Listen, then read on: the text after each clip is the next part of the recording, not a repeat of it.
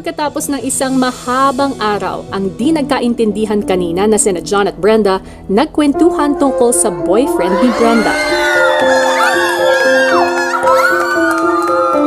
Ah, ito yung sinabi mong pinablog mo siya. Oo, tapos yung first picture, tumaba na siya dito, di ba?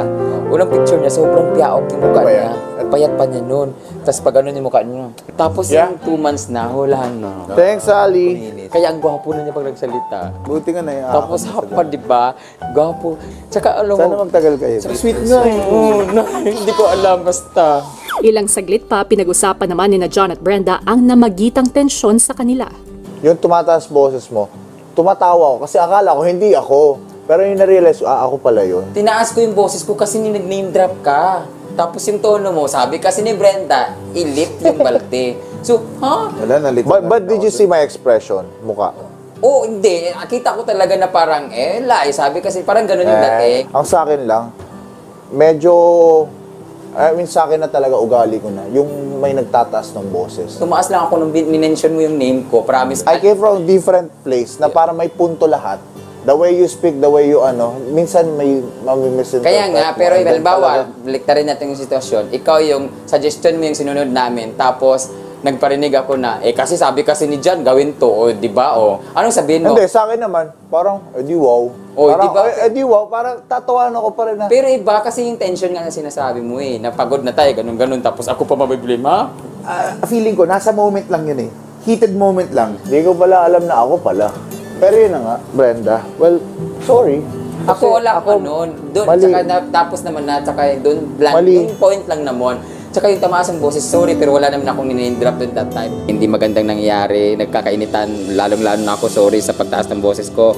Na-trigger lang talaga yung pag-mention ng name ko. Honestly, iba talaga ako magsalita. Pero there's no point na, ito may pag-away, it's just a task. Before the day ends, sabi ko, I apologize. Nagpakakumbaba po ako. And sinabi ko naman po yung fault ko. And si Brenda po, sabi niya, oh, sorry kasi tumaas yung boses niya.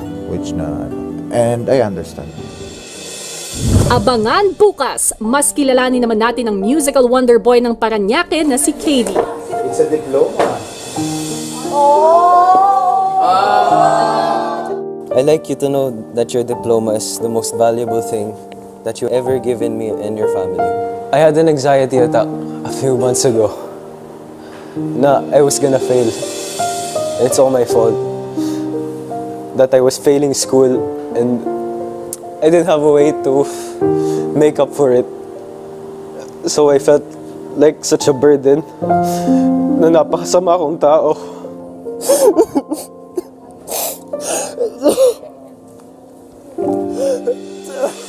At sabay-sabay nating salubungin ang pinakabagong housemate na papasok sa bahay ni Kuya. Dahil sa iyong boses, nagsimula ang iyong career.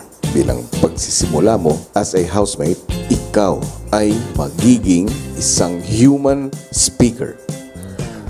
Ang golden son ng Cebu na si Kyle. Morning sa'yo! May ibibigay ako sa inyo mga ilang pagkain para sa araw nyo ngayon. Woohoo! Ito, may tinapay ako para sa inyo. Coffee. Coffee. Gusto namin ng kape, pero mas gusto namin ikaw. Kumalma ka. Kumalma ka na.